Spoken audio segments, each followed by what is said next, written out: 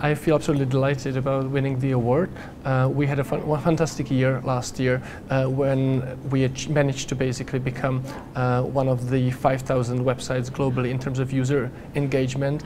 And I feel that it's so great um, that this work is being done at the Open University because the mission of the Open University to make knowledge available for everyone is absolutely perfectly aligned with the mission of the CORE project.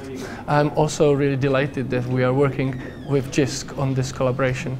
So I'm really proud to be working with the CORE team at the Open University. Uh, they're internationally recognised for their expertise and I want to thank them for their passion, their commitment and their hard work. And again, I think it's the passion that has created such a successful service. We want to grow our user base, provide good and even better services for um, our users, which involve researchers, um, the society, uh, and in fact also commercial organizations which have started using and depending on um, various kinds of data services which CORE provides.